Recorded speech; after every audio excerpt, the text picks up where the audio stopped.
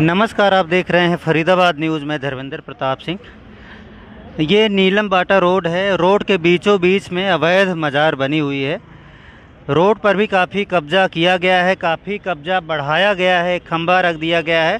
सात आठ फीट और बढ़ा लिया गया है। अभी यहाँ पर बिट्टू बजरंगी आए हैं और तमाम लोग हैं। ये देखिए। और इनकी प्रशासन से कुछ मांग है, इनके हाथों में एक कागज़ भी है। इनसे बातचीत करते हैं, पूछते हैं, आखिर इनकी क्या मांग है? ये मज़ार है, देखिए।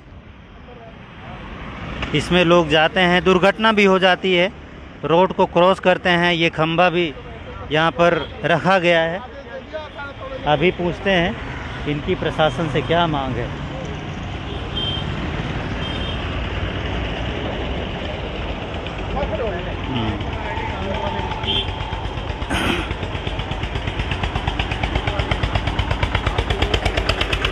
बिट्टू चलें। ये देखिए, खंभा रखा गया है, ये देखिए। इसमें कई बार बाइक सवार टकरा जाते हैं और गिर जाते हैं। लोगों की जान चली जाती है। और इधर तीन फीट इधर बढ़ा लिया गया और इधर देखिए, इधर दिखाओ। चार पाँच फीट इधर बढ़ा लिया गया है। तो इसकी वजह से बहुत ज़्यादा दिक्कत हो रही लोगों को। अब इनसे बातचीत करते हैं, पूछते हैं, आखिर यहाँ पर क्यों आए हैं। इनकी, इधर ही आ जाओ, यहाँ पे ही आ जाओ, सामने ही आ जाओ। बातचीत करते हैं, पूछते हैं। आखिर बिट्टू बजरंगी यहाँ पर क्यों आए हैं? इनकी प्रशासन से क्या मांगे? इनके हाथों में एक कागज़ है। इस कागज़ में क्या लिखा है? एप्लीकेशन में क्या लिखा है? एक बड़ा मामला अभी आपने देखा होगा। कल परसों सैनिक कॉलोनी में एक मंदिर को तोड़ दिया गया। इसके अलावा जो आपने देखा होगा सेक्टर चार में एक बड़ा मंदिर तोड़ दिया गया था नहर के किनारे। तो मंदिरों को तोड़ दिया जाता है लेकिन मज़ार वगैरह जो रास्ते में बनी होती, उनको नहीं तोड़ा जाता। अब बिट्टू आज कुछ बोलेंगे, प्रशासन से कुछ मांग करेंगे। देखिए, यहाँ पर काफ़ी लोग भी हैं जो अंदर कुछ कर रहे हैं, पूजा कर रहे हैं, प्रार्थना कर रहे हैं, कुछ पता नहीं है यहाँ पर क्या होता है।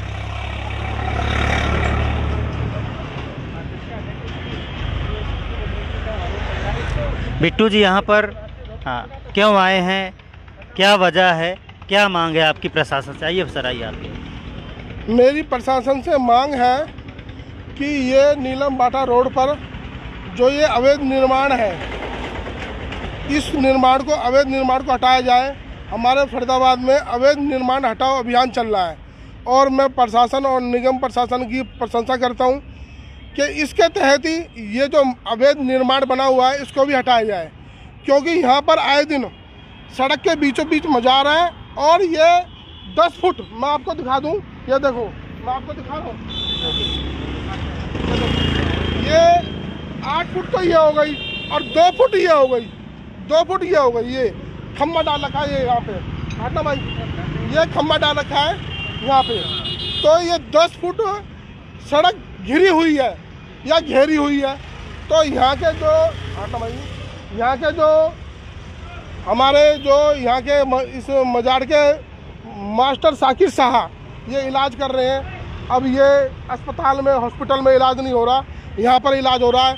अब क्या इलाज हो रहा है? धर्मांतरण हो रहा है, लव जिहाद हो रहा है, भूमि जिहाद हो रहा है, ये तो अलग विषय है। मेरी प्रशासन से विनती, इसको तत्काल प्रभाव से हटाया जाए। कि हिंदुओं में रोष है? क्यों? किस बात को लेकर? कि हमारे मंदिरों को तोड़ा जा रहा है? कल सैनिक कॉलोनी में निगम ने मंदिर तोड़ दिया। उसके तहत यहाँ ओल्ड एक हनुमान मंदिर तोड़ दिया। फिर बाईस सेक्टर के मोड़ पे एक मंदिर था भोले बाबा का वो तोड़ दिया। यानी कि मंदिरों को ही निशाना बनाया जा रहा है। ये मजार नहीं दिखाई दे रही ये निगम के नाक के नीचे मजार बनी पड़ी है और पूरा प्रशासन पूरा महकमा यहाँ से निकलता है और नगर निगम 100 मीटर की दू, दूरी पर है। क्या ये अवैध निर्माण दिखाई नहीं दे रहा?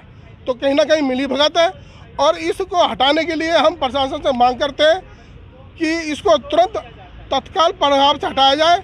नहीं तो हम आगे तक इसकी लड़ाई लड़ेंगे कानूनी लड़ाई लड़ेंगे और हम प्रशासन से हाथ जोड़ के विनती करते हैं कि इसको भी हटाया जाए तत्काल प्रभाव से। और एक बात क्या है? हाँ। ये झंडा लगाया हुआ है इन्होंने।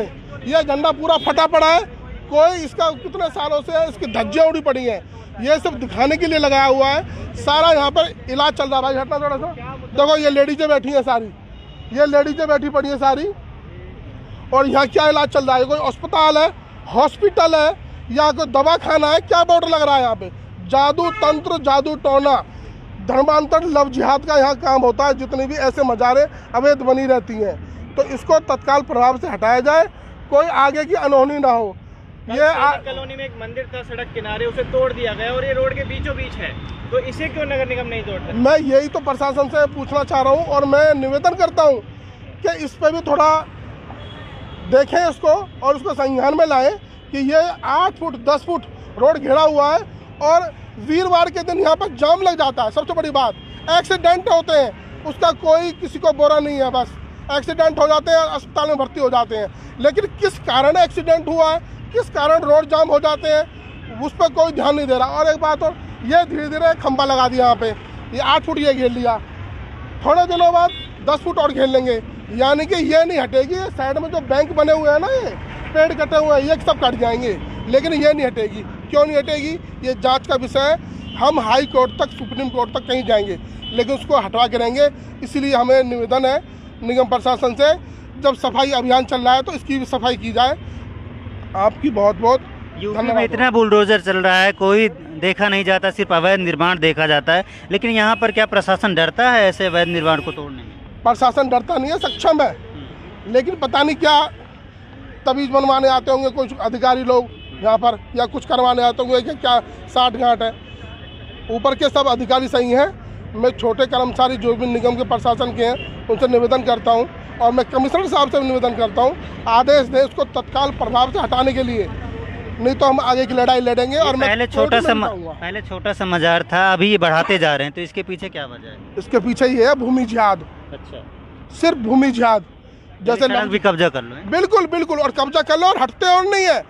सबसे बड़ी बात हम तो क्या प्रशासन से भी नहीं हटते और जो नेता लोग हैं वो भी नहीं हट पाते आज हम उसको अगर अपने हाथ से दो ईंट तो हटा देंगे ना तो यहाँ पे इससे बड़ी बाज़ार बन जाएगी। लेकिन विषय इस बात का है कि ये रोड घेरा हुआ है दस फुट घेरा हुआ है रोड। ये पेड़ कट जाएँगे ये बैंक जो बने पड़े ना साइड में सब हट जाएँगे। ये नहीं हटेगी। क्यों नहीं हटेगी? बहुत दिनों से मजार है अवैध निर्माण है अनैतिक कार्य होते हैं और सबसे जो विषय है मैन हमारे बच्चे बुज़ुर्ग महिलाओं का एक्सीडेंट होता है। वीरवार के दिन जाम रहता है। क्यों रहता है भाई जाम? आपने कहा अधिकारी ठीक है लेकिन कल जहाँ पर मंदिर तोड़ा वहाँ लोगों ने आरोप लगाया कि जो एस सुमेर सिंह है उन्होंने इस मंदिर को तोड़ने के लिए चालीस हज़ार रुपये लिया है। भाई ये मेरे विषय में नहीं है मेरे सामने नहीं लिए ना।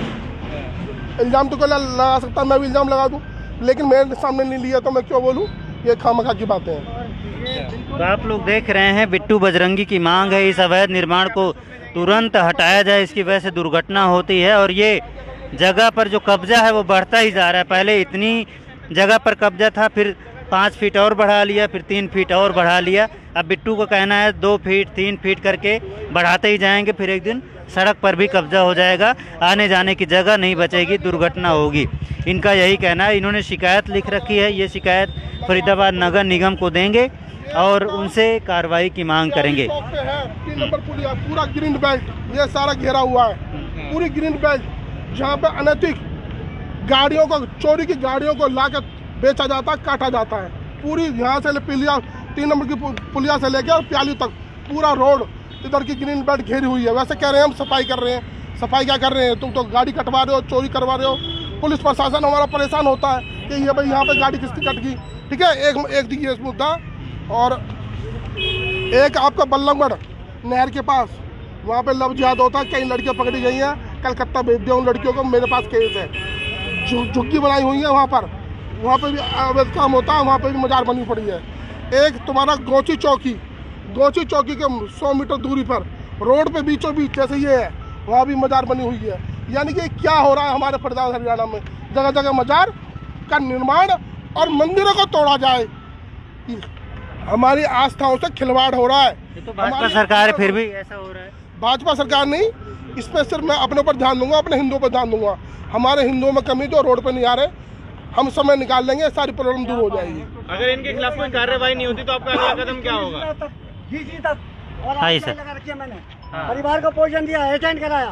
आज मेरे लिए कल और के लिए ना बने। क्योंकि देख लिए ये क्या शिकायत है आपकी? हैं, बहुत कंपनी है। यूनियन ने टलमेट कराया था मेरे को मिलके। इनका कोई और प्रॉब्लम है? फ़िलहाल अभी अभी जो है मजार पे फोकस रखते हैं। ये मज़ार है और यहाँ पर महिलाएँ भी हैं बच्चे भी हैं। आप भैया कौन है? थोड़ा आइए आएँगे इधर। क्या नाम है आपका? रामाजी प्रसाद। रामाजी प्रसाद। रामा जी प्रसाद आप मज़ार में क्या करने आए हैं? मेरे को ऊपरी चक्कर है इसलिए ऊपरी भूत प्रेत है। हाँ। अच्छा अच्छा। तो यहाँ पर सही हो जाएगा भूत? हाँ हो जाता है। रामा प्रसाद कह रहे हैं भूत वगैरह है ऊपरी चक्कर है और यहाँ पर सही हो जाएगा। तो ऐसे अंधविश्वास में लोग यहाँ पर आते हैं कि उनकी बीमारी सही हो जाएगी और लोगों को यहाँ पर भ्रमित किया जाता है ऐसा बिट्टू बजरंगी का आरोप है। लोगों को आ, सही से गाइड नहीं किया जाता और उनको भ्रमित करके ऊपरी चक्कर बताकर भूत प्रेत बताकर उनको ठगा जाता है। बिट्टू बजरंगी का यही है। इधर आ जाओ। ये कह रहे हैं मेरे में भूत है। हाँ इनमें भूत है। मेरे में कोई भूत नहीं छोड़ रहा। हाँ, मेरे में कोई भूत छोड़ के दिखा दे। ये सब मन गणत बातें है। यहाँ पे बुद्धू बनाया जा रहा है लोगों को बहकाया जा रहा है कि तेरे में भूत है तेरे में प्रेत है गंदी गंदी चीज़ खिला देते हैं। उसका होश नहीं रहता। हमारी माताएँ बहनें आती हैं आदमी घर पे होते हैं और बस वो फिर रफू चक्कर हो जाती है गहनों को लेकर। तो आप लोग देख रहे हैं ये रामा प्रसाद नाम बता रहे हैं हिंदू। हाँ हिंदू हिंदू ही। है हिंदू है? हाँ सारे हिंदू ही हैं। हिंदू हैं रामा प्रसाद हैं करे मेरे में ऊपर ही चक्कर है और यहाँ पर इलाज। है बताओ। अरे देख रहे हैं किस तरह- जाओ। अपने हनुमान जी पर जाओ बड़े बड़े तपस्या करो पूजा करो। भूत प्रेत का क्या चक्कर है? ऐसा तो मेरे को कोई छोड़ देगा भूत मैं तो आसमान में उड़ जाऊँगा। ऐसा नहीं होता। चलो ठीक है जो भी हो। बिट्टू की यही मांग है इसको तो तोड़ा जाए हटाया जाए अतिक्रमण है ये। रोड पर बना है बाकी सरकारी जगह में कोई भी अवैध अतिक्रमण हो उसको हटाया जाए।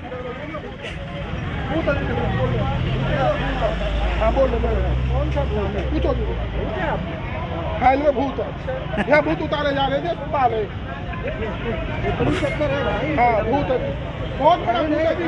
कौन भूत उतारता है? भूत कौन उतारता है? कौन है? कौन से पीर हैं? नाम क्या है पीर का? पीर बाबा का नाम हमको मालूम नहीं तो नाम ही नहीं पता भूत कैसे भगेगा ये बताओ। इनको नाम ही नहीं पता पीर बाबा का। चले आए हैं भूत भगाने। चलो देखते हैं क्या होता है फरीदाबाद न्यूज़ से धर्मेंद्र प्रताप सिंह नमस्कार।